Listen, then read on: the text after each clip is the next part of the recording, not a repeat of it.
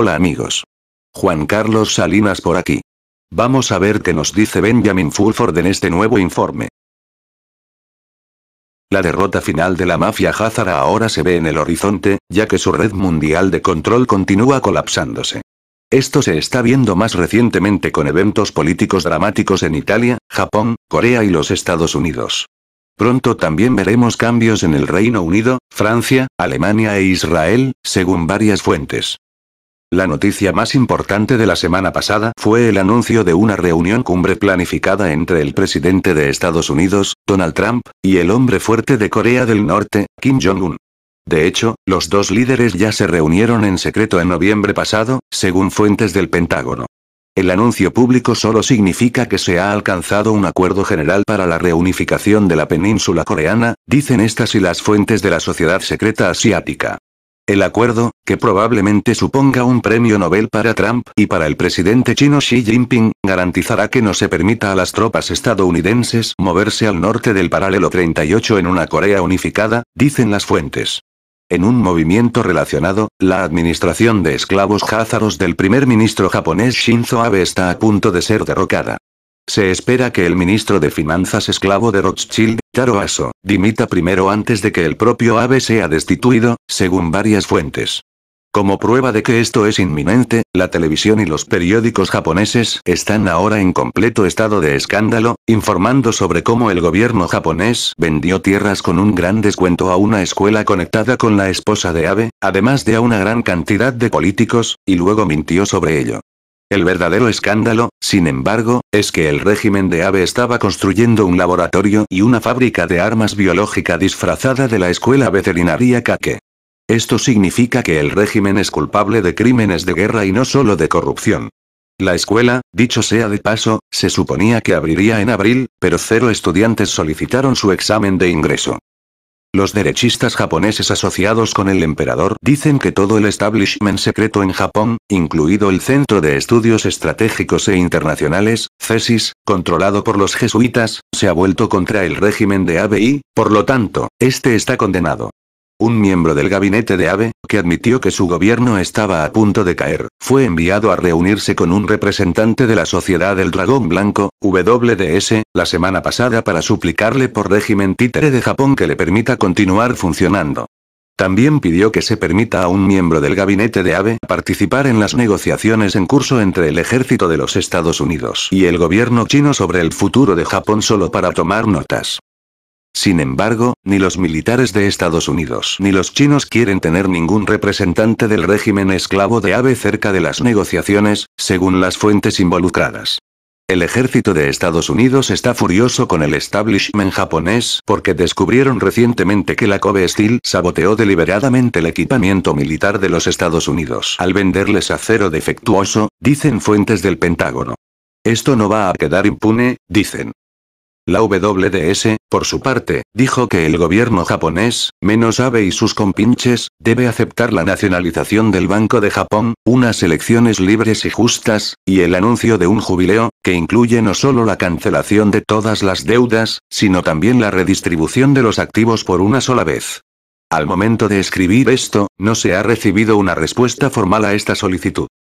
En los Estados Unidos, mientras tanto, los sombreros blancos continúan ganando a lo grande. El mayor indicio de la semana pasada fue la renuncia del ex CEO de Goldman Sachs, Gary Cohn, como asesor económico principal de Trump. La Casa Blanca ahora está libre de Goldman Sachs, dijo una fuente del Pentágono. Como resultado de la caída de Cohn, Lloyd Blankfein fue expulsado como director ejecutivo de Goldman Sachs, señaló la fuente. Esto significa que el asesor de comercio nacionalista de Trump, Peter Navarro, director de la Oficina de Comercio y Política de Manufactura, es ahora el máximo jefazo económico de la Casa Blanca. El anuncio de una exención de los aranceles de acero y aluminio de Estados Unidos para Canadá y México, pero no para la Unión Europea o Japón, muestra lo que probablemente sea la política de guerra comercial de los Estados Unidos. Del mismo modo que a los militares les gusta eliminar objetivos fáciles primero, está claro que los guerreros comerciales están apuntando a la Unión Europea y a Japón para unificar a Occidente antes de enfrentarse a China. Por supuesto, todo esto es una fanfaronería de negociación dirigida a obtener concesiones y no significa que realmente habrá una guerra comercial. El otro gran acontecimiento en los Estados Unidos la semana pasada fue que el fiscal general de Estados Unidos Jeff Sessions finalmente mostró sus colmillos con una demanda contra California y la publicación de documentos ante el Congreso sobre el ardid de armas rápido y furioso del expresidente Barack Obama. Sobre Obama, fuentes del Pentágono dicen que el secretario estadounidense Rex Tillerson viajó a Kenia la semana pasada para evitar que Obama obtenga asilo. Mientras tanto, en el Reino Unido, las fuentes del Pentágono dicen que los círculos de pedofilia británicos reales en Buckingham y Westminster pueden estar vinculados a donaciones del Reino Unido, Australia y Canadá a la Fundación Clinton bajo la dirección de la reina. Es cierto que la pedofilia y un comportamiento malvado de una gran parte de la élite del Reino Unido es desenfrenado. Sin embargo, este escritor ha encontrado anteriormente que las acusaciones contra la reina en relación con la pedofilia en Canadá eran invenciones pagadas por un miembro de la familia Rockefeller. Los eventos demostrarán la verdad sobre estas últimas alegaciones. De todos modos, el cambio de régimen vendrá al Reino Unido, ya que Jeremy Corbyn, que está por la verdad sobre el 11S, reemplazará a la primera ministra Theresa May, insisten fuentes de la CIA. El cambio de régimen también ha llegado a Italia, donde los partidos anti-Unión Europea y anti-establishment ganaron la mayoría en las elecciones de la semana pasada. Sin embargo, este proceso llevará algunos meses, ya que las negociaciones complejas continúan tanto en el Parlamento como entre las sociedades secretas. También se está realizando una gran movida contra el gobierno esclavo de Rothschild de Emmanuel Macron en Francia, donde se estableció un Consejo Nacional de Transición para reemplazar al régimen.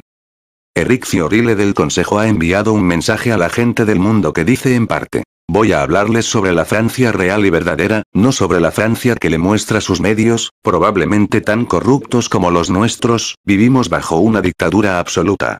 Nadie está a salvo en su propio hogar.